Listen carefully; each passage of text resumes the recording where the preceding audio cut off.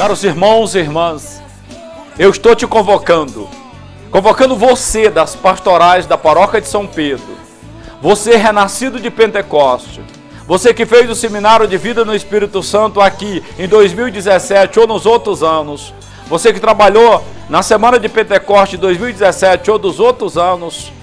para uma noite de ação de graça no dia 22 de dezembro, a partir das 19h30 eu te convoco para junto louvar o Senhor, adorar o Senhor, engrandecer o Senhor, louvar o Senhor e reconhecer que Jesus Cristo é o Senhor da nossa vida. É um momento de ação de graça. E nesse dia nós vamos iniciar a nossa preparação para a semana de Pentecoste 2018 com o tema Levantai-vos e vamos, em comunhão com o Papa Francisco que nos convoca uma igreja de saída.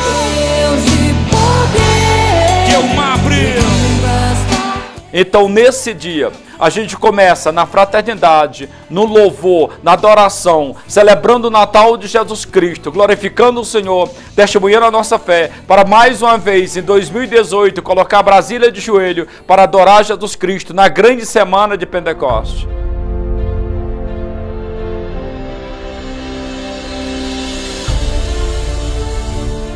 Em 2018, nós não queremos só 2 milhões de pessoas por noite para adorar o Senhor no Tagua Parque, mas nós queremos chegar nos 3 milhões para render graça, para glorificar e testemunhar que a nossa igreja está viva em Brasília, no Brasil e no mundo.